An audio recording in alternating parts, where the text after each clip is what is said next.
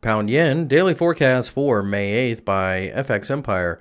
The uh, pound yen, as you can see, um, did break out to the upside. It looks as if we are going to find um, bits of value on pullbacks and it looks like we will take advantage of this on uh, the bullish pressure that the jobs number just turbocharged the move higher.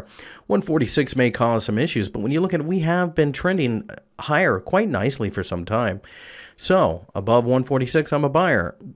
Pullbacks, I'm a buyer. I think 145 now will offer a bit of a floor.